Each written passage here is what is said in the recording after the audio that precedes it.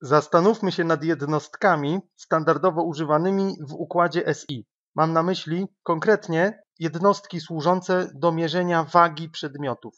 Zapisałem wagę w cudzysłowie, bo jednostki, o których mówimy, że dotyczą wagi, tak naprawdę są jednostkami masy.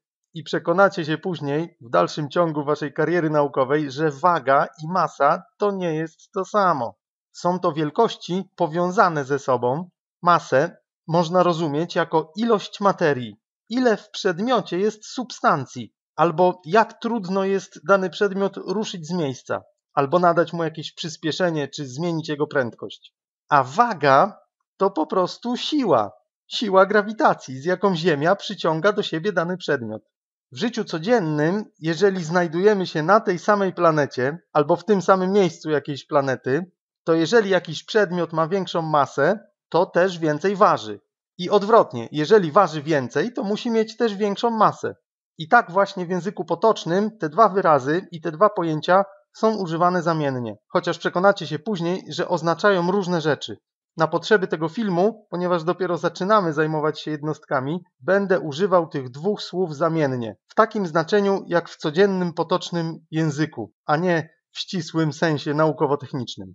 No to po kolei. W systemie metrycznym do oznaczania wagi w miarę lekkich przedmiotów stosuje się jednostkę 1 gram. Żeby się zorientować, ile to jest 1 gram, podam przykład. Spinacz waży 1 gram. Taki zwykły spinacz do papieru. Pasek albo listek albo kawałek gumy do rzucia też waży 1 gram. Tylko jeden kawałek. Paczka gumy do rzucia jest już cięższa.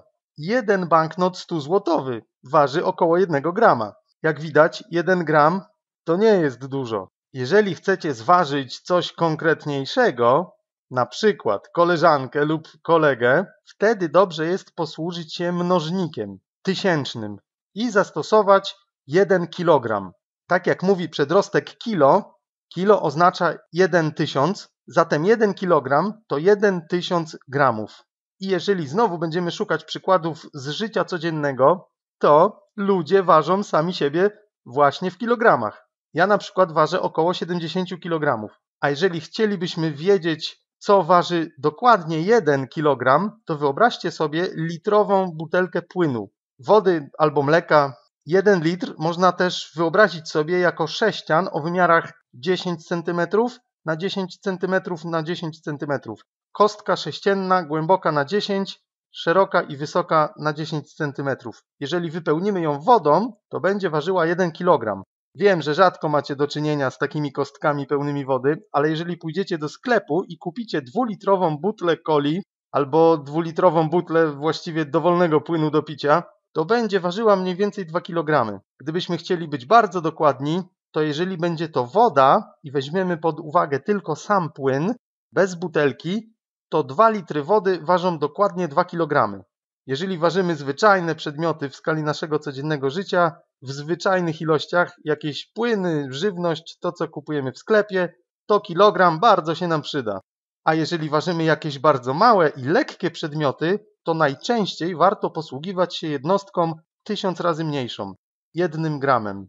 A jeżeli chcielibyśmy być bardzo dokładni, na przykład przy ważeniu dawki leków w aptece czy w laboratorium, to wtedy pójdziemy w drugą stronę tej skali, w stronę mniejszych, tysiąc razy jednostek i posłużymy się jednym miligramem. Jeden miligram to jedna tysięczna grama, czyli waga jednej tysięcznej części banknotu 100 złotowego albo jednej tysięcznej części spinacza to bardzo, bardzo, bardzo mało. I dlatego bardzo rzadko pojawia się w naszym codziennym życiu miligram.